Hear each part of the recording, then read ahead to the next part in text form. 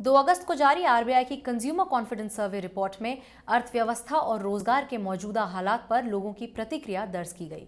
इस सर्वे के मुताबिक लोगों का भरोसा पहले के मुकाबले काफ़ी नीचे आया है।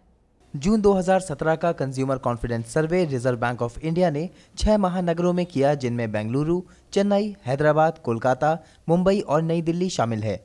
इन शहरों से देश की अर्थव्यवस्था, रोज़गार, आय, व्यय आदि की स्थिति पर पाँच हज़ार दो सौ उनसठ जवाब मिले।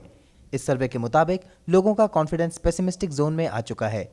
सौ के नीचे पेसिमिस्टिक यानी निराशाजनक होता है।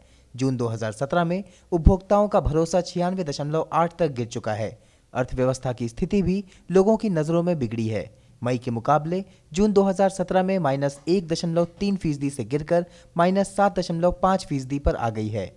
लोगों ने अगले एक साल में इसके और गिरने का अनुमान लगाया है। सर्वे के मुताबिक लोगों की आमदनी भी घटी है और मई में चार दशमलव चार फ़ीसदी की जगह जून में आए एक दशमलव चार फ़ीसदी पर आ गई है।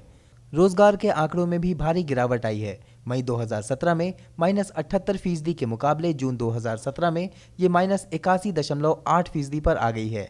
सामानों की कीमतों को लेकर भी पचासी दशमलव दो फ़ीसदी लोगों ने कहा है कि इनमें बढ़ोतरी हुई है और केवल तीन दशमलव चार फ़ीसदी लोगों ने कहा है कि इनमें बढ़ोतरी नहीं हुई है। इन मुख्य क्षेत्रों में जनता का उठता भरोसा इस बात की तरफ़ इशारा करता है कि अर्थव्यवस्था और रोज़गार में आई गिरावट न सिर्फ़ कागजों पर नज़र आती है, बल्कि बाज़ार में भी इनका गहरा असर हो रहा है। सम्राट शर्मा, गो न्यूज़।